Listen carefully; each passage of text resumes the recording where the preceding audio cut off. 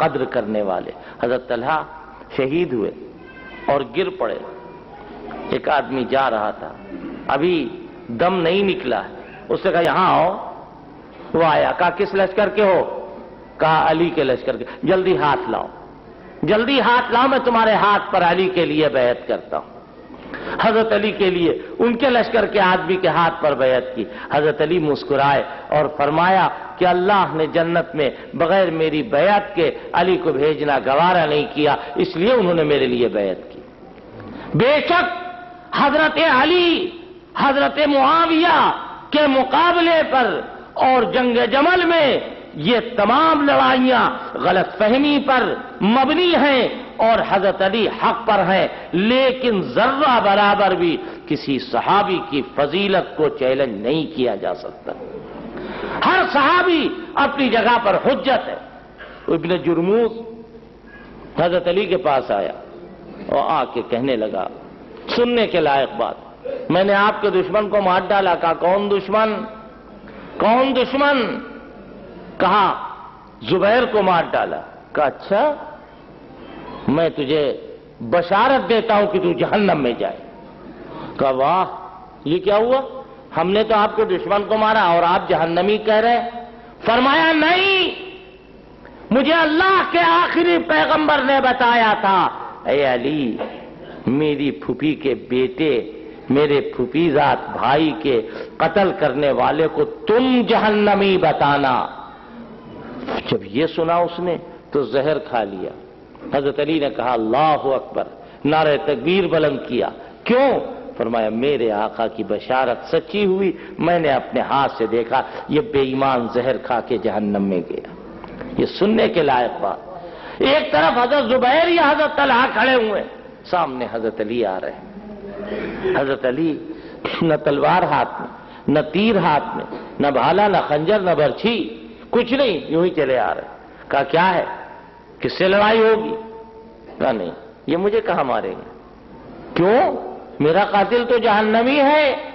आका ने इनको जन्नती बताया है। ये मुझे नहीं मारेंगे। चुपचाप, हज़रत तलहा या हज़रत जुबैर, जो भी हैं, चुपचाप वापस जा रहे हैं। लोगों ने कहा, डर गए? अली से डर गए। फरमाया इख्तर तुल आर नार, मुझे आर गवारा है, मगर नार गवारा नहीं।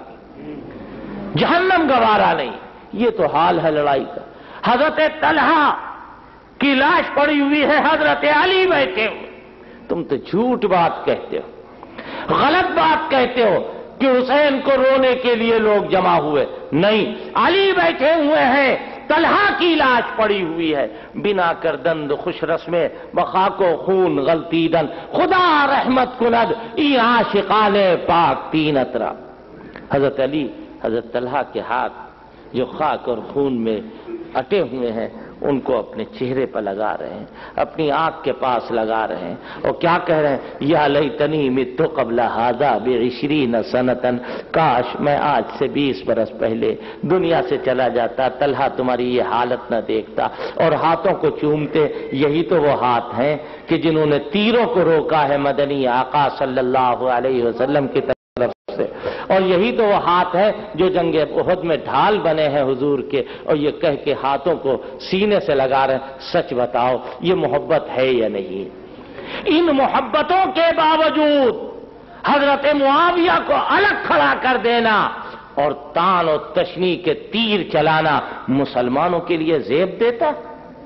मुसलमानों के लायक है कि मुसलमान उनको मुजरिमों के कटहरे में खड़ा करे? सुन लो बेशक हज़रत अली साबिकीन अवलीन में से। उनका मर्तबा हज़रत उस्मान के बाद मुसलम लेकिन हम तलहा जुबैर की हड्डियों को चूर चूर करके, हज़रत मुआविया की हड्डियों को चूर चूर करके, हज़रत हज़रत आयशा के दामन इफ्फत को खाक में मिला करके, ऐसा नहीं हो सकता है कि हम अली की मोहब्बत का महल तामीर करें। हज़रत अली अपनी जगह पर मोहतरम, और ये सारे असहाब अपनी जगह मोहतरम। हज़रत अली से मनकूल।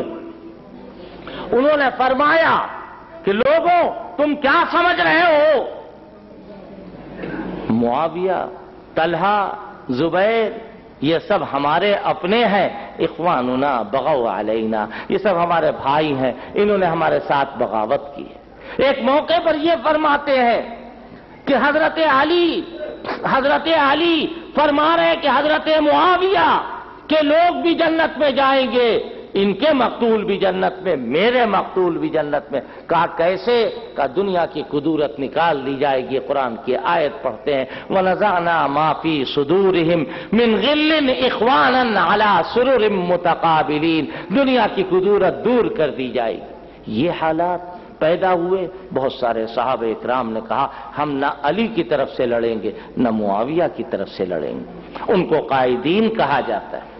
ये सारी वो हकीकतें जो सही रिवायात से हम तक पहुँची है और यहाँ इससे पहले भी मुतद मरतबा बयान की जा चुकी। फिर हज़रत अली के बाद, हज़रत हसन इबन अली, हज़रत मुआविया के बाद, हज़रत हसन इबन अली।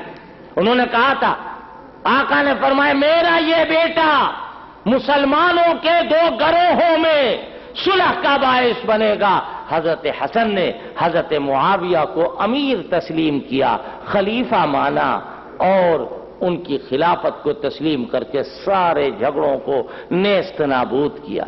लेकिन झगड़ालू बाज नहीं आते। जो उनसुर हज़रत उस्मान की शहादत में कार फरमा था, वही उनसुर हज़रत अली की शहादत में आगे आगे रहा और उन्हीं लोगों ने हज़रत हुसैन को खतूत लिख करके बुलवाया और मैदान करबला में इनको बेदर्दी के साथ शहीद किया। जी हाँ, आप अपने जुर्म को अपने आंसुओं से मिटाना चाहते। यहाँ एक साहब ने आके मुझसे शिकायत की, अभी चौथा पांचवा दिन। उन्होंने कहा कि साहब, ये कहा जाता है कि हमें रोने से मना करते हैं। भाई, हम कौन होते हैं मना करने वाले? रोने से मना करते हैं। हम तो कोई कदगन नहीं लगाते। आप रोए, न रोए, हंसे, बोले, चुप रहे। हमारी जूते की ठोकर से हमको आपसे कोई सरोकार नहीं। हम आपको नहीं मना करते। फिर उसकी दलील भी दे दी। क्या कहा? कि देखो भाई, बच्चा जब पैदा होता है तो रोता हुआ पैदा होता है। नहीं रोता है तो उसे रुलाया जाता है। जी हाँ हमारे यहाँ बच्चा नंगा भी पैदा होता है। जब पैदा होता है तो नंगा होता है। आपके यहाँ अबाव कबा पहन के पैदा होता होगा। हमारे यहाँ तो नंगा ही पैदा होता है। हमारे यहाँ बच्चा बगैर दांत का होता है। आपके यहाँ जो बच्चा पैदा होता होगा, उसके दांत होते होंगे। लिहाजा आप बच्चे को अगर मेयार बना रहे हैं तो बच्चा जो है वो रोता है, मगर बोलता नहीं है। लिहाजा आप अपने बोल भी बंद कीजिए और रोना शुरू कीजिए। इसके आगे इसीलिए तो रुलाया जाता है। वरना अगर मुँह से बोले तो क्या कहे मम्मा की पेट से, इतने दिनों रह के आ रहे हैं, हम खैरियत से हैं, आप लोग मुतमिन रहिए, हम ज़िंदा है। वो अपनी ज़िंदगी का सबूत रो करके पेश करता है, उसे रो नहीं आता है। आप कहिए हाँ कहते हैं इन तमाम बातों पर। तो फालतू बात करते रोना रुलाना हम तो आपके सामने ये पेश कर रहे हैं कि कशफुल गुम्मा फ़ी मारिफतिल इम्मा में लिखा हुआ। कि मम बका, औ अबका, औ तबा का वजबत लहुल जन्ना। जो रोए या रुलाए या रोनी सूरत बनाए, उसके लिए जन्नत। बहरहाल, हज़रत हुसैन को बुलाए कैसा मकाम आया। हज़रत हुसैन ने कहा कि हज़रत मुस्लिम इबन अकील शहीद कर दिए गए अब हालात ऐसे हैं, भाई मैं हिजाज वापस जा रहा हूँ। मुझे वापस जाने दो। चलो चंद शर्तें रखते एक शर्त यह कि मुझे यजीद के पास ले चलो, मैं अपने मामला को खुद तय कर लूँ। दूसरी शर्त यह कि मुझे किसी सरहदी मकाम पे भेज दिया जाए, मुझे वापस चला जाने दिया जाए। क्या कहा? कि ये तीनों शर्तें उस वक्त में अमीर कूफा ने तस्लीम भी कर ली। लेकिन बाद लोग आए कहा, मुस्लिम इब्ने अकील को लोग जानते नहीं थे, धोखेधड़ी में उनको शहीद कर दिया गया। आप चलिए, हम आपकी इमारत को मानेंगे। हज़रत हुसैन रज़ी अल्लाह तला को अल्लाह की कसम धोखा दे के बुलाया गया। और धोखा दे के कूफियों ने मारा।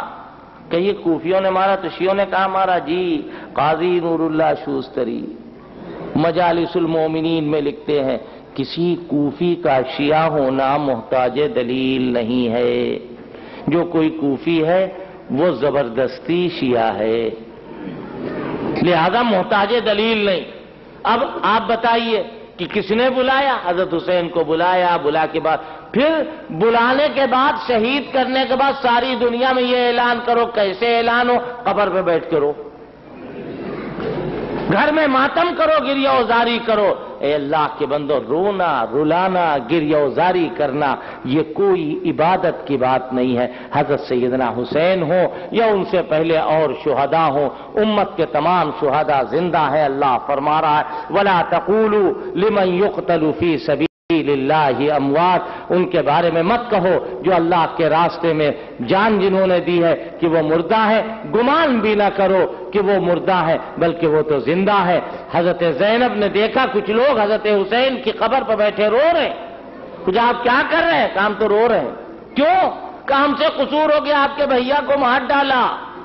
वो आए हैं पेशेमा, लाश पर अब। वो आए हैं। पशेमा लाश पर अब तुझे ज़िंदगी लाऊं कहाँ से? कि मेरे कत्ल के बाद उसने जफा से तौबा? कि मेरे कत्ल के बाद उसने जफा से तौबा? हाय जूत पशेमा का पशेमा होना। हज़रत हुसैन की कब्र पर बैठे रो रहे काहे के लिए रो रहे हो? कहा हमने मार डाला। हज़रत जैनब ने कहा, अल्लाह तुम्हें कियामत की सुबह तक रुलाता रहे।